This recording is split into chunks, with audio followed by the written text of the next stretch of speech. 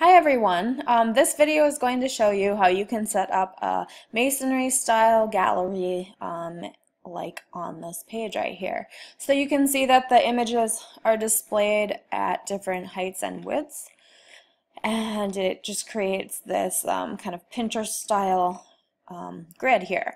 And then when you click on each of the photos, it will display the photo larger. And then you can either click to scroll through the photos or just arrow through on your keyboard to view them at a larger size.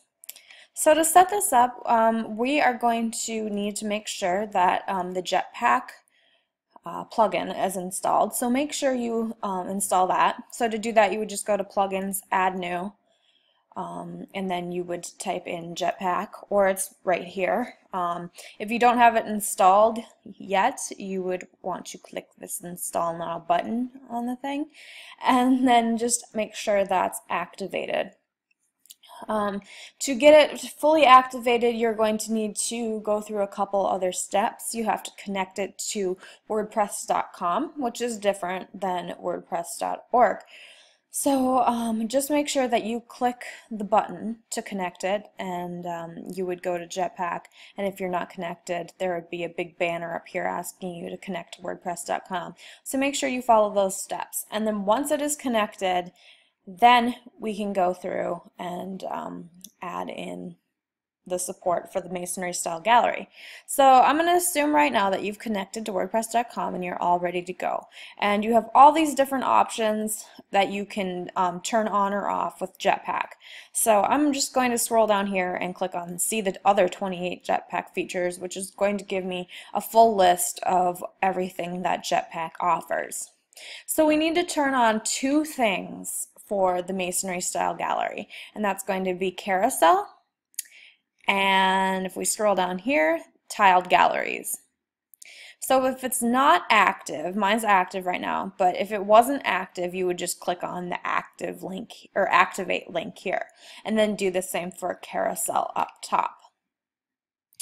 Now I'm going to show you how you can add that gallery to the page. So click on pages and then click on add new. And this is going to um, you know, be you're going to make a new page just like you would and you would type in the title of whatever you want your page to be called. So let's say that I'm making a gallery to showcase my wedding photography. I would just type in wedding photography right here. And then to add in that gallery, I would click in this post editor box here and then click on the add media link. From there I'm going to click on create gallery and then I'm either going to um, add in my photos, um, that I have already in my media library, or I can click on the upload files button and upload them directly from my computer. I'm just going to toggle back to the media library and select some of the ones that I already have um, chosen here. So I'm just going to start selecting my photos, the ones that I want displayed, and once I have them all selected, I'm going to click on the blue Create New Gallery button in the right hand bottom corner. If I want to rearrange my images, I would just click on one, um, keep my finger held down on um, the mouse or uh, the, the keypad, whatever you use, um, the touchpad, I mean, and then I can just drag and drop it into place. Maybe I want this one up here. Whatever kind of looks good um, is what I'm going to want to create here.